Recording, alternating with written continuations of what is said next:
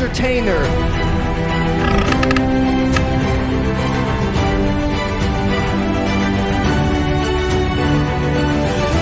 Think about your family. Think about the people you're working for. Think about making yourself proud.